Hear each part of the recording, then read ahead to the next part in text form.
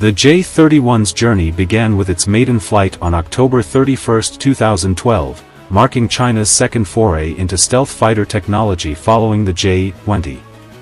Over the years, the aircraft has undergone various iterations and tests to refine its design and capabilities. Notably, in mid-2024, SAC released a promotional video showcasing the J-31B variant, indicating significant advancements in its development and a readiness for operational roles. The J-31 exhibits design elements characteristic of fifth-generation fighters, including twin-engine configuration. Unlike the single-engine F-35, the J-31 is powered by two engines, enhancing thrust and redundancy. Stealth characteristics The aircraft incorporates forward-swept intake cowls with diverterless supersonic inlet, DSI, bumps and a two-piece canopy to minimize radar cross-section. Its internal weapons bay further reduces radar visibility and enhances aerodynamic performance. Wonderful engineering. Airframe design The J-31's airframe shares similarities with other stealth fighters, featuring twin rudders and a sleek fuselage to optimize stealth and maneuverability. While specific details about the J-31's avionics remain limited, it's anticipated to be equipped with advanced systems to ensure competitiveness, radar systems. The aircraft is expected to utilize an active electronically scanned array, AESA, radar, providing superior tracking and targeting capabilities. Sensor integration, features like an electro-optical targeting system, EOTS, and distributed aperture system, DAS, are likely incorporated to enhance situational awareness and targeting precision. Internal weapon bays. The aircraft features internal bays that can house up to two medium-range missiles, maintaining its stealth profile. External hardpoints. With six external hardpoints, the J-31 can be equipped with additional ordnance, including air-to-air -air missiles, air-to-ground munitions, and precision-guided bombs, depending on mission requirement. Initially, the J-31 prototypes were powered by Russian-made Klimov RD-93 engines.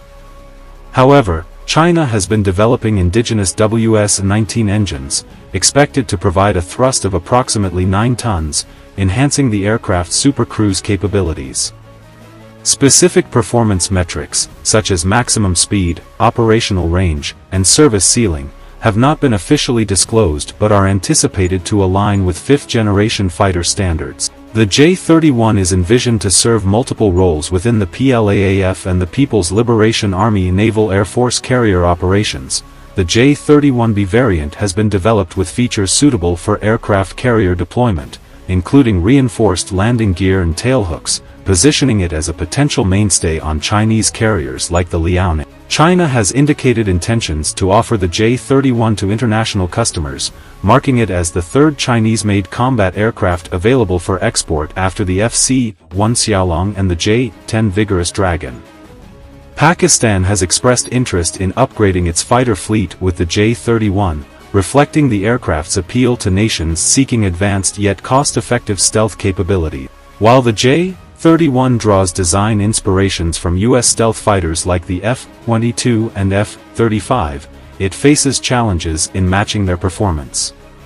Technological parity, despite advancements, the J-31's capabilities in avionics, stealth, and propulsion may not yet fully align with those of its American counterparts. Developmental hurdles, achieving the desired performance levels requires overcoming significant technological and engineering challenges, particularly in engine development and systems integration. The Shenyang J-31 embodies China's strategic commitment to advancing its indigenous military aviation capabilities.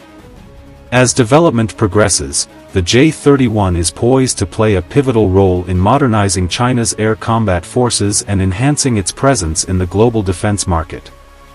Its evolution will be closely monitored by defense analysts and military strategists worldwide, reflecting its significance in the ever-evolving landscape of aerial warfare.